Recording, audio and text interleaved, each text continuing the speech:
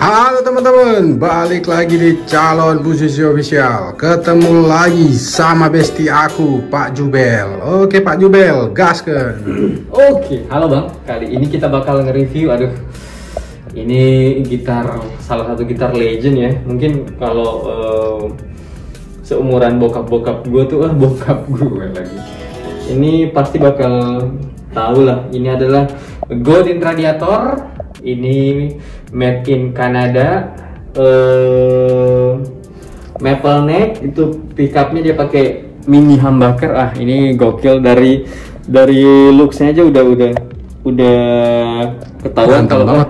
ini ganteng nih nah dia pakai mini humbucker dari eh, Godin dan dia nggak ada selector pickupnya tuh jadi masih kayak eh, pembagian seperti zaman-zaman dulu lah gitar-gitar lawas. Ini ada tune ini ada volume bridge ini ada volume neck. Jadi kalau terus misal lu hanya mau pakai pickup neck doang lu tinggal matiin Hidupin. volume bridge-nya lu tinggal pakai yang neck doang. Begitupun sebaliknya. Atau lu bisa mix tuh misal lu pickup bridge-nya volume 3 pickup neck-nya volume 7 atau sebaiknya lah jadi jatuhnya sih sebenarnya lebih banyak karakter soundnya cuma nggak nggak nggak eh, nggak semudah ketika ada selektor pickup ya Betul. Nah, ini dia pakai maple maple neck dan fretnya juga dia sudah upgrade pakai stainless steel.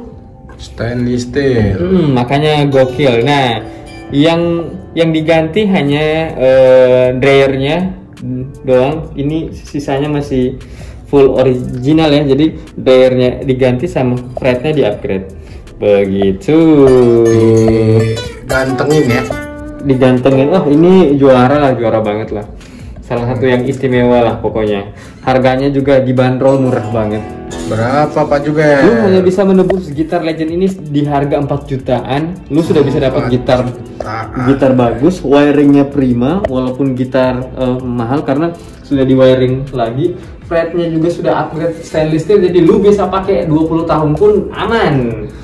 Begitu. Karena dia stainless steel. Oh gitu. Nah, it- kalau misalkan ini nih netizen netizen mau order sebelum ditikung, wah aduh boleh gimana Pak Jubel? lu langsung pokoknya kalau terus misal ke marketplace lu bisa langsung searching aja eh, Jubel Asik Store lah keywordnya sih itu Keywordnya ya, Yes. Jubel Six Store. Lu bisa cek di Tokopedia, bisa Bukalapak, bisa Shopee, bisa Micet. bisa bisa oh bisa enggak lah Oh nggak bisa ya.